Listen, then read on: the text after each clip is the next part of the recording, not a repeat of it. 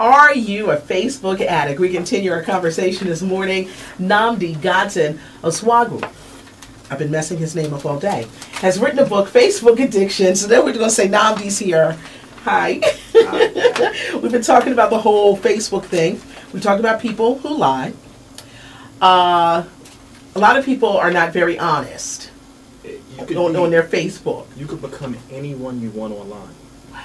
Anybody.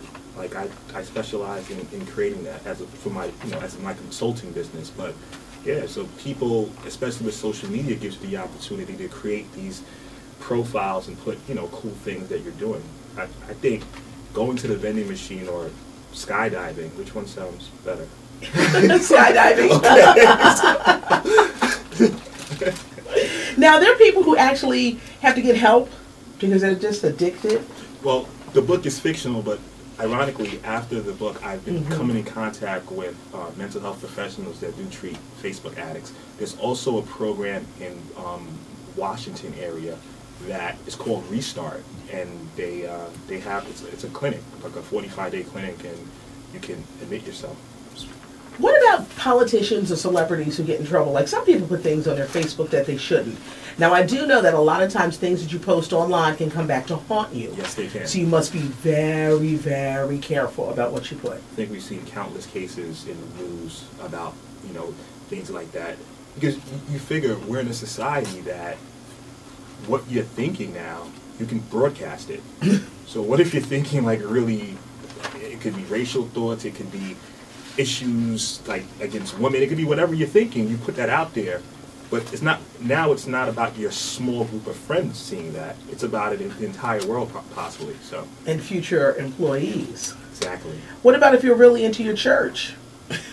you put stuff what I just think you just have to be very, very careful about about what you about what you put on the pictures that you post. I, I think you should be. I mean, we you see cases of you know women um, putting things that are scantily clad, and you know it looks it might be cool when you're in college, but when you're you know 24 and, and you're working somewhere now, Yeah. those could come back to haunt you. Do you think it's fair when employees or employer, you Yeah. know, try to search you out, find out more about you, uh, look at your Facebook pages? It's so funny because I, it was a it was an interview with one of the heads at Google, and, and his advice was saying, "Well, don't do anything wrong, and you won't have to worry about it." But Yeah. people, what happens is this: i- i- employees are making an investment on you, right? So Mhm. they want to search with by any means necessary to find out as much as they can. So with social media and your information, and then them going through it, it gives them the ability now to, to do that. My advice: adjust your privacy settings. Don't make sure the things that you don't want public are not, or take them down, because if it's a tool, and people are going to use these tools to get to the desired goal. Wow. There are so many addictions. Do you think that things like Facebook help people who suffer from loneliness? I think it's a, I think it's a fine line, right? Okay.